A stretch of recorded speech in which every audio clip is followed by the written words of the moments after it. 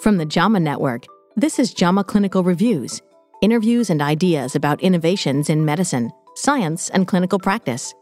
Here's your host. Hello, and welcome to this JAMA Clinical Reviews podcast.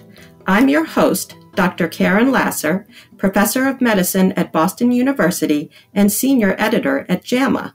Today, I am joined by Dr. Elliot Tapper, who is an Associate Professor of Medicine in the Division of Gastroenterology at the University of Michigan. Welcome, Dr. Tapper, to this JAMA podcast. A privilege to join you, Dr. Lasser. So, to begin with, your review covers the diagnosis and management of cirrhosis and its complications.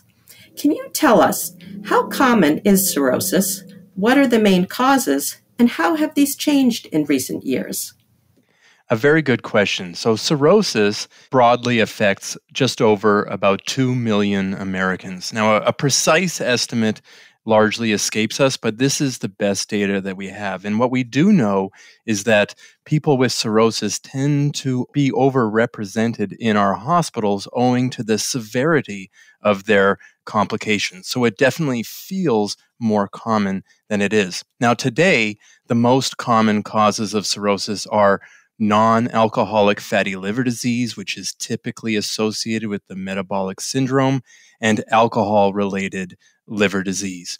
Hepatitis C used to be one of the most common causes, and it is still a common cause. But because we are screening for it and because it is so easily cured, it will be less represented over time. And how helpful is the history and physical exam in diagnosing cirrhosis? Are there any signs or symptoms that are particularly sensitive or specific for making the diagnosis? Cirrhosis comes with a lot of classic physical exam findings. Things like spider angiomas on the face or neck, palmar erythema, caput medusa, dilated veins on the abdominal wall.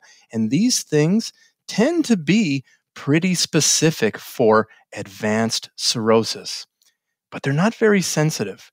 And so, one of the key things that we wanted to get across is that for the vast majority of people with cirrhosis, they may not know it because it has a very long latent period that is asymptomatic, and additional tests, both blood based and imaging based, are required to learn if a patient at risk for or with a known liver disease has cirrhosis. Which patients should we evaluate for cirrhosis, and is a liver biopsy needed to make the diagnosis?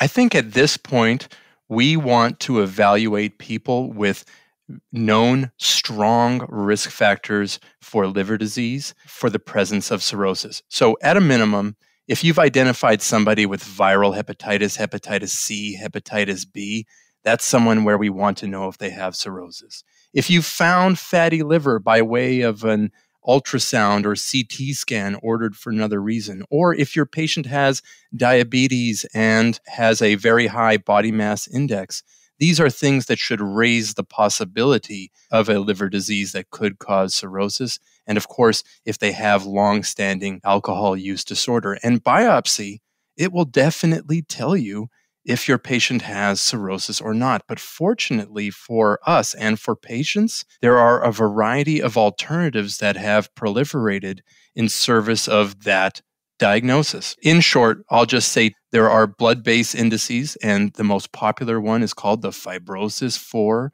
which is based on the ratio to ALT and AST, where the higher the AST, the more likely someone has cirrhosis, and the lower the platelet count, the more likely they have cirrhosis. And anybody can calculate this.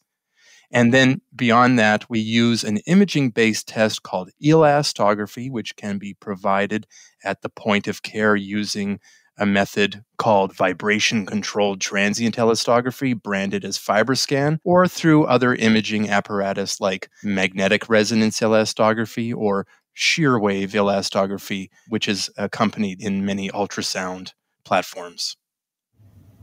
Now, once we've diagnosed cirrhosis, how can we improve survival among patients with compensated cirrhosis? For example, how should primary care physicians screen for complications such as varices and hepatocellular carcinoma?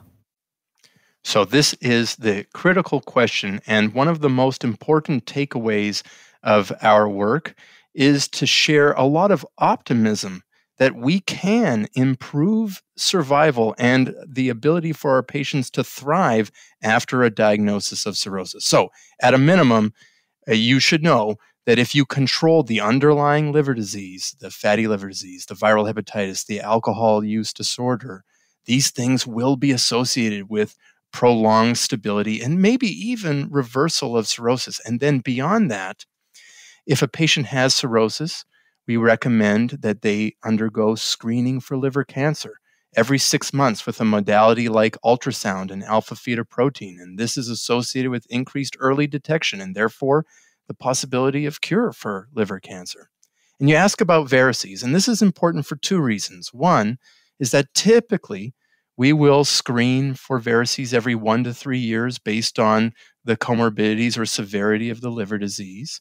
And we'll do that with endoscopy. And if we find varices, we will initiate therapy like a non selective beta blocker. And that will prevent variceal bleeding.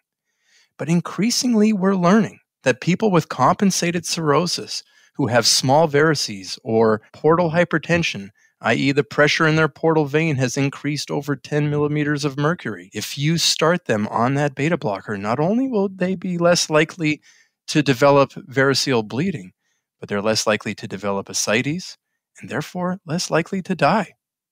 Now, you may have covered a little of this already, but can you talk about the prognosis of patients with cirrhosis and how can we know when to start thinking about the need for a liver transplant? So, the vast majority of people with cirrhosis will be diagnosed either early because you went looking for it or because it was incidentally detected by lab tests or imaging. And these people have compensated cirrhosis. And the median survival for patients with this stage, where it's clinically silent, there's no ascites, no encephalopathy, the median survival is about 12 years, but it has a pretty long range depending on the age at which it's diagnosed. That's important to know. But once you develop a decompensation, like ascites or variceal bleeding or hepatic encephalopathy, the tool that we really use to determine prognosis, that's the MELD score, M E L D, and it's based on the bilirubin the INR, the creatinine, and the sodium. And it gives you a sense of the probability of mortality at 90 days. And this is super helpful when someone has these decompensations. And when that score is higher, then they should definitely be referred for a liver transplant. So typically, we want to see in our transplant clinics, as opposed to our general hepatology clinics, people who have decompensations, hepatic encephalopathy, ascites, or a MELD score that's approaching 15 or greater. And the range for MELD scores is like 6 to 40. And what are some common symptoms of cirrhosis, and what are the evidence based treatments for them? So, a lot of people are familiar with the canonical decompensations or symptoms of cirrhosis, like the ascites and abdominal bloating, the hepatic encephalopathy, the asterixis, the confusion, disorientation. But it turns out that if you ask patients with cirrhosis what's really bothering them, it's a set of symptoms that is both very common and independently associated with poor quality of life. And these include muscle cramps which is directly related to the pathophysiology of cirrhosis. It happens predominantly in the lower body, but sometimes can be their hands or abdomen. Itching, because the liver is causing a backup of bile salts into the blood, which irritate the skin. And beyond that, these factors will also result in sleep dysfunction. And because cirrhosis has disrupts many of the common endocrine systems, will also cause sexual dysfunction for both men and for women. Now, the treatments for these are many, and we review them, but I'll highlight a couple. For muscle cramps, the things that are best tested are a sip of pickle juice, which, interestingly enough, uh, triggers a nerve reflex that will abort the cramp, but it does not prevent the cramp. And so a studied drug is taurine, taken at about well, 1,000 milligrams twice per day. For itching, many of us will use bile acid binders because of the pathophysiology of the condition, like cholestyramine or colestipol. And sometimes we will go to second line therapies like naltrexone, which mediate the sensation of itch. For sleep dysfunction, we really try to focus on sleep hygiene, but when we need to reach for another agent, things that have been trialed include hydroxyzine at night and sometimes melatonin. And when it comes to sexual dysfunction, the same things that would treat this condition in any other patient also apply. But it reminds us about two main things. One is that alcohol use disorder is associated with sexual dysfunction, and sexual function can return spontaneously with cessation of alcohol. And there are a variety of prescription therapies for erectile dysfunction that are safe and effective in cirrhosis. And once patients develop complications of cirrhosis, are there other evidence based treatments that they should receive? Yes, each of these complications has a wealth of data behind it, and I will briefly summarize. For people with hepatic encephalopathy, this is a condition that is associated with frequent hospitalizations, falls, and trauma. And I'll think a lot of us know about lactulose, but what you may not know is that lactulose, when consistently applied in the randomized trial setting, is associated with improved survival. And when someone has breakthrough episodes on lactulose, rifaximin is approved by the FDA and is associated with improved freedom from repeated episodes of encephalopathy. When it comes to ascites, we have a variety of now older clinical trials which have established that the optimal therapy is a combination of aldosterone antagonists like spironolactone and loop diuretics, which largely function by protecting the patient from hyperkalemia. And these therapies will help resolve the ascites, but when they don't, there is paracentesis that's available in a pinch to help the patient with relief, but it will not solve the problem. And for people who are requiring multiple paracentesis, we will consider transjugular intrahepatic portosystemic shunts or TIPS. And these procedures can be incredibly effective for patients with ascites refractory to diuretics. Now, for variceal bleeding, the best therapy is non selective beta blockers to prevent them in the first place. And the most preferred one at this point is carvedilol, which is hepatically metabolized and therefore dosed once per day at a dose of around 12.5 milligrams, ideally. But if someone has had a variceal bleed, that ought to be accompanied by serial endoscopies to place bands on any existing varices to make sure that they are completely obliterated. So, which agent should be used to prevent variceal bleeding?